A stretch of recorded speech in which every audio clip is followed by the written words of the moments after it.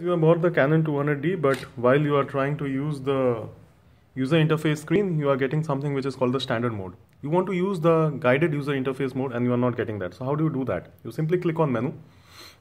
So I will be clicking on menu and you will see that there are quite few many settings. I will just zoom in so that you can see this very clearly.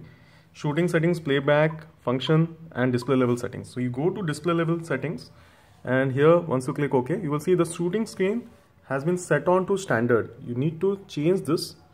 So you need to make it guided and you need to click on set. And now if you go back click ok and everything. Now if I actually turn on the shooting screen and I do it again and there you go. It will help me let me know depending on which mode I am. So I'm presently on the aperture priority mode as you can see from here. So it's giving me the settings from here. So it lets me know that how I can achieve a more background blur. So hopefully this helps in case you are not having this. So I will just repeat the steps. You simply are required to go to the menu and inside menu you're not supposed to go to shooting settings or function or something like that. You need to go to display level settings.